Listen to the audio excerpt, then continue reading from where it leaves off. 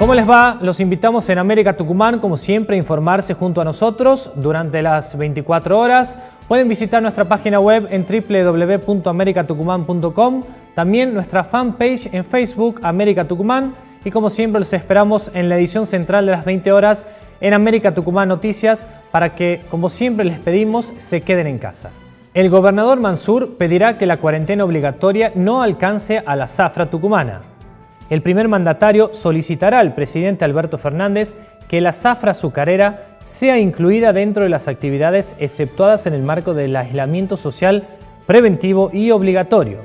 Quiero llevar tranquilidad a las familias cuyos ingresos dependen de la actividad azucarera, afirmó Mansur, tras lo cual aseguró que sí o sí en Tucumán habrá zafra. Así el mandatario confirmó que requerirá que la industria madre tucumana sea contemplada dentro de las actividades flexibilizadas en la cuarentena. Subrayó que las fábricas tucumanas iniciaron ya las tareas de aprestamiento y que se están haciendo todas las gestiones necesarias para que la actividad inicie sin ningún tipo de inconvenientes en la provincia. Hay más de 500 casos de dengue en Tucumán. Hasta el día de la fecha se confirmaron 535 casos, de los cuales 527 son autóctonos y 8 importados. A través de distintas iniciativas, Vigilancia Epidemiológica continúa trabajando en atención de las personas afectadas y control de foco en las distintas áreas.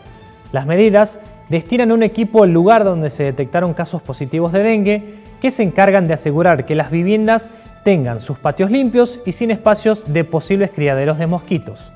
Los equipos de salud, además, continúan la labor de educación para la población con el objetivo de que se encuentren atentos ante los síntomas que puedan aparecer, para así abordarlos de forma oportuna. El Ministerio de Salud Pública solicita la colaboración de todos los ciudadanos para eliminar los criaderos de mosquitos, evitar acumular agua estancada, mantener limpios patios y jardines, renovar agua de floreros y bebederos y por supuesto eliminar objetos en desuso que puedan acumular agua en sus viviendas. Como siempre los esperamos en la edición central de América Tucumán Noticias a partir de las 20 horas y les pedimos y les recomendamos, como lo hacemos todos los días, que se queden en casa.